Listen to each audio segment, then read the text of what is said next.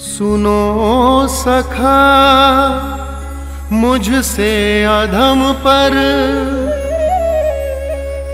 कृपा करे रघुवीर,